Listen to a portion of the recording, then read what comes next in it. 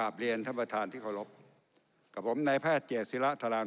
นนท์สมาชิกวุฒิสภาท่านประธานครับก่อนอื่นก็ต้องขอขอบคุณรายงานของคณะกรรมการสามัญพิจารณายตติขอให้สภามีมติส่งเรื่องที่มีเหตุสมควรจะให้มีการออกเสียงประชามติ ให้คอรมอดำเนินการนะครับ ซึ่งก็มีท่านสมชายแสวงการขออภัยที่เอ่ยนามเป็นประธานคณะกรรมการชุดนี้นะครับ รายงานที่จัดทำขึ้นมีเอกสารที่รูปเล่มสวยงาม สีสันสวยนะครับ แล้วก็มีรายละเอียดมากมายที่จะนำไปใช้ประโยชน์ได้เป็นอย่างดีท่านประธานครับในเรื่องของการแก้ไขรัฐธรรมนูญเนี่ยผมอยู่ในสภาแห่งนี้ในช่วงที่มีสมาชิกสภาผู้แทนราษฎรชุดนี้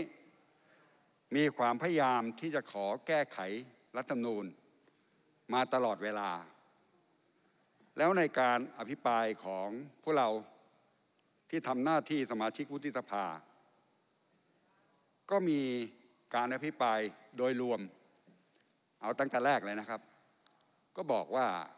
ไอ้รัฐธรรมนูญฉบับปี 60 เนี่ยมีทั้งในมาตราที่แก้ไม่ได้ มาตราที่แก้ได้ แล้วก็มาตราที่แก้ยาก เราก็พูดกันตลอดเวลาว่า ในกรณีที่ถ้าจะแก้ทั้งฉบับนะครับ มันก็เป็นปัญหาเหมือนกับในอดีตที่สมาชิกได้อภิปรายไปแล้ว ผมคง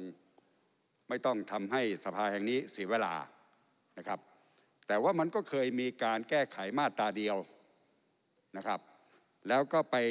ตั้งสสลเพื่อยกร่างรัฐธรรมนูญฉบับใหม่มา ซึ่งสารรัฐธรรมนูญก็วินิจฉัยไปแล้วนะครับ ในคำวินิจฉัยที่ 4 ทับ 2564 ก็เป็นกรณีที่ให้ประชาชน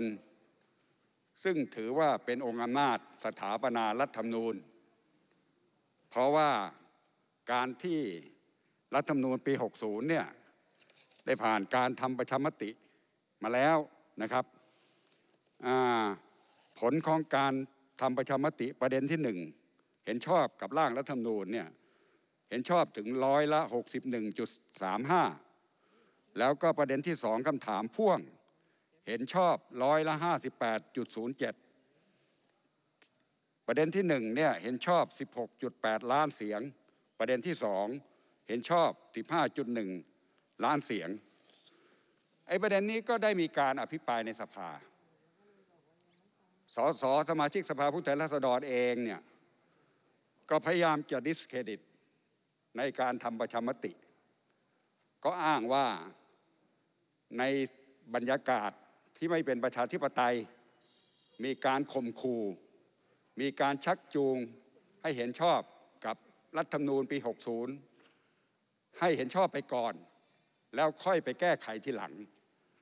มีความพยายามที่อภิปรายด้อยค่ารัฐธรรมนูญฉบับนี้ตลอด เพื่อนำไปสู่การแก้ไข รัฐธรรมนูญ แต่ก็ไม่ประสบความสำเร็จนะครับ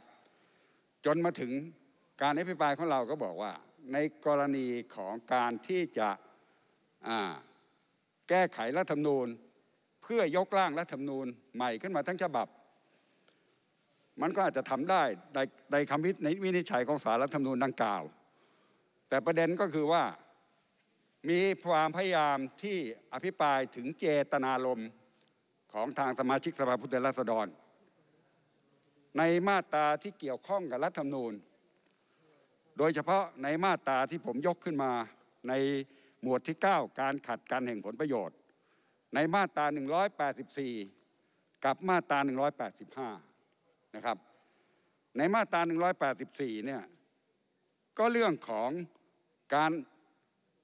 ข้อห้ามไม่ให้สสและสว ดำรงตำแหน่งหรือหน้าที่ใดในหน่วยราชการหน่วยงาน ไปรับหรือแทรกแซงหรือก้าวไก่การเข้ารับสัมปทานจากรัฐ รับเงินหรือประโยชน์ใดจากหน่วยราชการ กระทำการใด ๆ ไม่ว่าโดยทางตรงหรือทางอ้อม แล้วก็มาตรา185เนี่ยการที่เป็นข้อห้ามไม่ให้สสหรือสวใช้สถานะ หรือตำตำแหน่งทางการเป็นสสหรือสว กระทำการใดอันเป็นลักษณะที่เป็นการก้าวไก่หรือแทรกแซงเพื่อประโยชน์ของตนเองของผู้อื่น หรือของพรรคการเมือง ก็มีการพูดถึงเรื่องของการที่ไม่สามารถที่จะใช้งบประมาณให้เป็นประโยชน์ ต่อท้องถิ่น ต่อประชาชนของตนเอง ซึ่งตรงนี้เนี่ยเป็นความกลัวของพวกเราลึกๆ ว่าถ้ามันมีการแก้ไขรัฐธรรมนูญ เต็มฉบับตั้งสทรขึ้นมา มันก็จะมีการแก้ไขในมาตราเหล่านี้ นี่ผมยังไม่พูดถึงมาตราอื่น ๆ ที่สมาชิก บางท่านได้พิปรายไปแล้ว อันนี้คือความกลัวว่าถ้าหากว่ามีการทำประชาประชามติตั้งสทรแล้วก็ยกร่างรัฐธรรมนูญฉบับใหม่ขึ้นมาไอ้มาตราดีๆ เหล่านี้มันจะหายไป มันก็จะเป็นประโยชน์กับทางนักการเมือง ที่จะไม่มีมาตราที่มา ป้องกันการขัดกันแห่งผลประโยชน์นะครับ ประเด็นต่างๆเหล่านี้เนี่ยผมคิดว่าประชาชนที่รับฟังแล้วก็ติดตาม การถ่ายทอดการประชุม ก็จะได้ฟังประเด็นต่างๆ เหล่านี้เนี่ยพูดซ้ำๆกันตลอดทุกครั้งที่มีการเสนอ แก้ไขรัฐธรรมนูญท่านประธานครับ แต่ถึงอย่างไรก็ตามเนี่ยการที่เราพิจารณาในวันนี้ ก็เพียงแต่ว่าจะเห็นชอบหรือไม่เห็นชอบกับยัตตินั้น แต่ว่าก็ไม่ได้เป็นการตัดสิน ว่าผลสุดท้ายเนี่ยจะเกิดการทำประชามติขึ้นหรือไม่ เพราะว่าอำนาจในการชี้ว่าจะทำประชามติ หรือไม่ทำประชามติเนี่ยเป็นอำนาจของคอรมอนะครับ ซึ่งจะเป็นผู้ตัดสินอีกครั้งหนึ่ง แต่ด้วยเนื่องจากเงื่อนเวลา แล้วก็สถานการณ์ในขณะนี้เนี่ยเป็นสถานการณ์ที่ปลายเทอมของสสที่จะนำไปสู่การเลือกตั้งใหญ่ทั่วไปนะครับ เพราะนั้นผมก็คิดเอาเองว่าทางคอรมอเนี่ยก็น่าจะคำนึงถึงประเด็นนี้ ก็จะทำให้ไอการที่จะตัดสินว่าจะให้มีการทำประชามติก็เลื่อนออกไป แต่ประโยชน์ที่จะเกิดขึ้นส่วนหนึ่งก็คือว่า เมื่อมีสสชุดใหม่เข้ามาทำหน้าที่ มีคอรมอคณะใหม่ เข้ามาทำหน้าที่ ในเรื่องนี้ก็อาจจะมีการหยิบยกขึ้นมาพิจารณาอีก แต่ก็ต้องมีการพิจารณาในสภาผู้แทนราษฎรอีกครั้งหนึ่งนะครับ แล้วทางสมาชิกวุฒิสภาของเราเองก็ต้องอาจจะอาจจะต้องย้อนกลับมาพิจารณาเรื่องนี้อีกทีหนึ่ง ถ้ามีกรณีนั้นเกิดขึ้น ซึ่งต่างๆ เหล่านี้เนี่ยเป็นเรื่องอนาคต ผมไม่ค่อยอยากพูดถึงอนาคต เพราะว่าอนาคตทางเรื่องเกี่ยวกับการเสนอแก้ไขรัฐธรรมนูญเนี่ยมันยังมีความไม่แน่นอนสูงอยู่ เพราะเราก็ยังไม่รู้ว่าใครจะกลับเข้ามาได้เป็นสสชุดไหนอย่างไรก็ตาม แต่ถึงอย่างไรก็ตามในการอภิปรายเนี่ยเราก็เห็นว่าการแก้ไขรัฐธรรมนูญเนี่ยถ้าแก้เป็นมาตราเดียว ก็สามารถทำได้ แล้วเราก็สนับสนุน แต่ถ้าจะแก้ใหม่ขึ้นมาทั้งฉบับเนี่ย ก็ขึ้นกับว่าเหตุผลประกอบในการแก้ไขรัฐธรรมนูญ แต่เนื่องจากรายงานฉบับนี้ซึ่งได้มาจากการศึกษา ก็บอกว่าในกรณีของยัตติที่เสนอขึ้นมาเนี่ยมีความชัดเจนอยู่อย่างหนึ่งคือคำถามนะครับทั้งสองยัตติเนี่ยพูดถึงคำถามชัดเจนว่าจะถามว่าอย่างไรนะครับ ผมคงไม่ต้องอภิปรายให้เสียเวลา แต่ว่าประเด็นตรงนี้ชัดเจน แต่ประเด็นที่เรียกว่าเหตุใดจึงต้องการ ยกร่างรัฐธรรมนูญใหม่ขึ้นมาทั้งฉบับ มีเหตุผลใดไม่ได้พูดถึงอะพูดถึงแต่ว่าที่มาของรัฐธรรมนูญมาจากการสืบทอดอำนาจ ไม่ได้ยึดโยงกับประชาชนต่างๆ เหล่านี้เนี่ยผมคิดว่ามันเป็นข้ออ้างที่จะนำไปสู่การแก้ไขรัฐธรรมนูญทั้งฉบับ เพื่อจะได้สิ่งที่ตัวเองต้องการ ก็ฝากเป็นคำถามเอาไว้ แต่การตัดสินใจนี่ผมคิดว่ามันเป็นเรื่องที่จะต้องรอ ถึงอย่างไรก็ต้องก็ตาม ก็ต้องมีก็ต้องรอสสชุดใหม่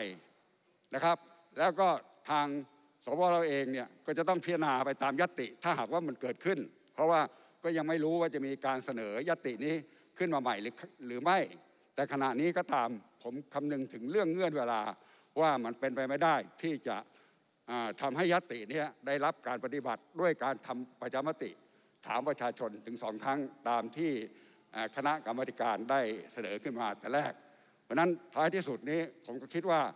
การที่ลงมติอย่างไรเนี่ยก็คงขึ้นกับสมาชิก แต่ละท่านที่จะตัดสินใจนะครับอ่าสำหรับผมเองเนี่ยก็คงจะเอ่อรอที่จะลงประชามติเพราะผลสุดท้ายเนี่ยเราก็คำนึงถึงประโยชน์ของประเทศชาติเป็นหลักว่า สิ่งใดก็ตามที่